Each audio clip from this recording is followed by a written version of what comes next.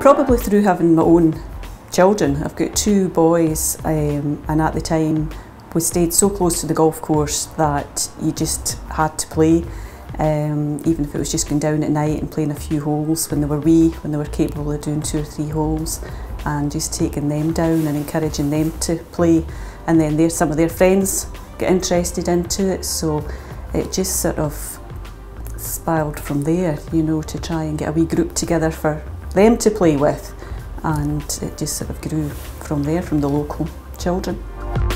We've got 20 regulars coming. We do an eight week block from Easter through to the summer and hopefully in the summer months they'll go out and play themselves, practice with their friends and their um, parents then.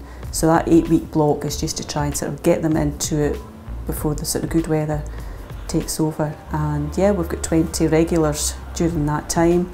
And we started winter golf because some of them were looking for to do you know play during the winter season as well. So we then started Kintyre Kids Golf.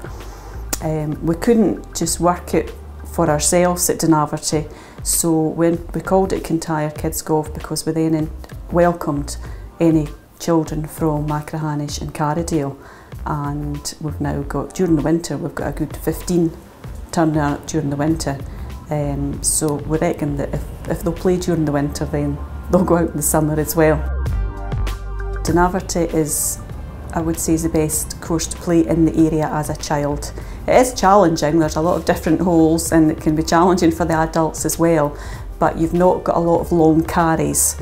Um, but the kids, we find that, you know, we have got a, a small course, although it's 18, we have got the ability to play four holes and then back down the 18th without them having to go far. We can still keep an eye on them. If the weather turns bad, we can run for the clubhouse. Coaching wise, as I say, you do, you get a lot of pleasure out of it just to see the kids coming through and you can see them progress every couple of weeks, you know, you can see them improving and they're listening and they're taking it all in and um, yeah, anybody that wants to help within you know the, the junior golf, then I would say, yep, go for it. It's great satisfaction. We are Scottish Golf.